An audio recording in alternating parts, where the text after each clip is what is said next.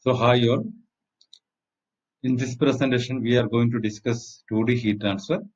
So in the previous presentation, we were discussing about the triangular elements which can be used to discretize a two-dimensional geometry. So when you look at the differential equation for two-dimensional heat transfer, you can write like this, dou by dou x minus dou by dou x, kx dou t by dou x minus dou by dou y, ky dou t by dou y is equal to fxy. So this represents the heat transfer, two-dimensional heat transfer equation for steady state heat transfer, heat conduction. So in here, kx and ky represent the thermal conductivities in x and y direction. So if the material is isotropic, then kx will be equal to ky. fxy represent the heat generation per unit volume.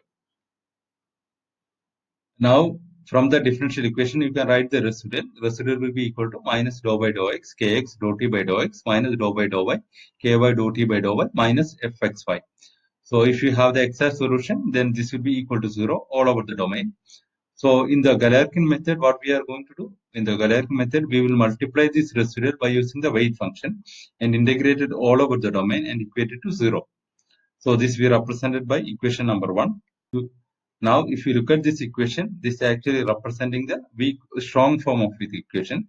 So we need to convert this one into weak form of the equation. So for that one, we are going to use the integration by parts.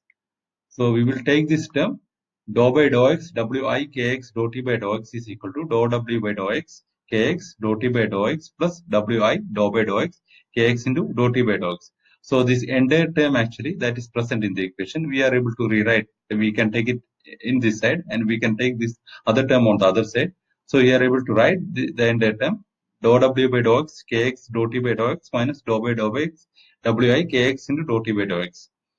So similarly, the term which contain the partial differential equation with respect to y also you are able to write it like this. So these two terms, you can substitute these two terms uh, in the uh, equation number one. So if you substitute and rearrange that uh, that terms, then you are going to get like this integration all over the domain. Dou w by dou x, kx, dou t by dou x, plus dou w by dou y, ky dou t by dou y, minus wi fxy dx dy is equal to integration over the domain dou by dou x, wi kx dou t by dou x, plus dou by dou y, wi ky dou t by dou y into dx dy. So we have taken some terms to the right hand side. Now, if you look at this right hand side term, so we will we will make a close loop on this right hand side term. So this is the term on the right hand side.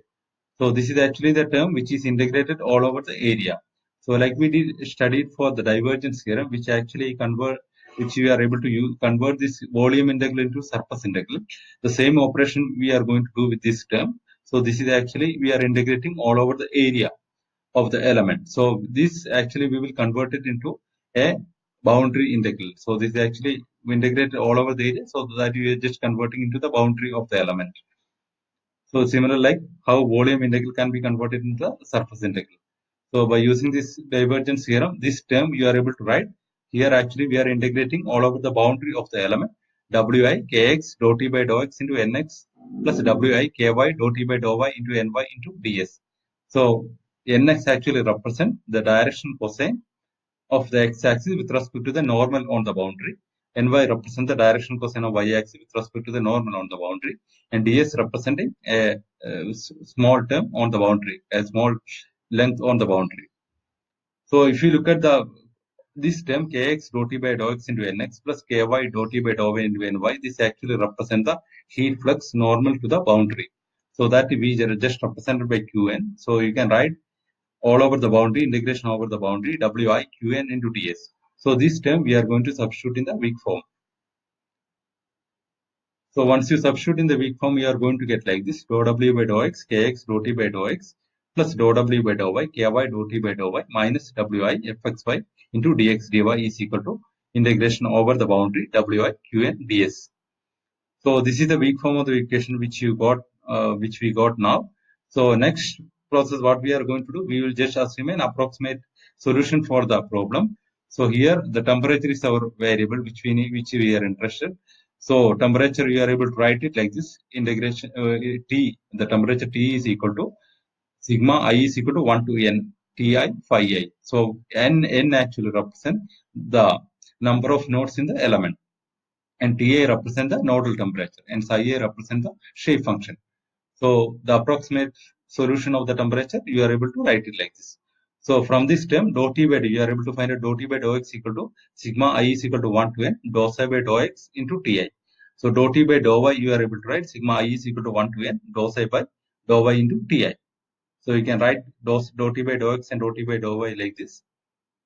Now in Galerkin method, weight, weight function will be equal to the shape function. So these all these things you can substitute in the uh, weak form of the equation. So what is the weak form of the equation? So this is the weak form of the equation. So here we have this dou t by dou x term. So instead of this dou t by dou x term, we are going to substitute this one dou t by dou x sigma i is equal to 1 to n dou psi by dou x into ti. So similarly, you are able to substitute for dou t by dou y. You can substitute from here. So now we are substituting here dou, dou psi by dou x and dou psi by dou y we have already substituted here. So this weight function we will represent it since i that uh, this subscript i has already taken when we use with this dou, dou t by dou x i has already taken. So the weight function now we will represent by wj is equal to psi j. So you are going to get dou psi j into dou x, dou psi j by dou x. Here we will get dou psi j by dou y for the weight function. So now you are able to write the weak formula weak formulation equation like this. So here actually we are multiplying with fx, so we multiply with the weight function, so psi j. So qn is multiplying with the weight function, so it is it becomes psi j.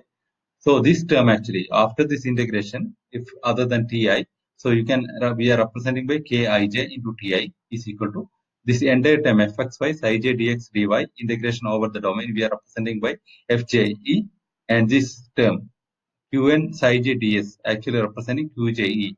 Uh, actually, it represents the bound term in the boundary. So now in the matrix form, you are able to write Ke into Ti. So it's actually the element stiffness matrix into the nodal temperature is equal to Fe, the heat generation term, and the boundary term Qe. So where K actually Kij. So any element on the element stiffness matrix, you are able to get from this integration of this part. So kx dou psi by dou x, dou psi j by dou x plus ky dou psi a by dou y, dou psi j by dou y into dx dy. So that actually represent kij and fje represent integration over the domain fxy psi j dx dy and qje representing qn into psi j into ds integration over the boundary. So in the next presentation, we are going to discuss one example with respect to with this equation. So then it will be more clear. So thank you.